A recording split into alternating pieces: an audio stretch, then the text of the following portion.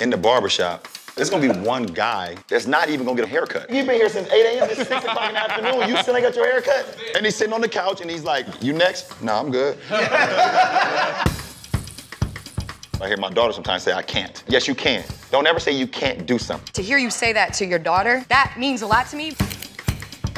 Black people are more respected outside of America than they are in America. That's interesting. Oh, that's a fact. That's a fact. Now kids can look up and be like, what LeBron said.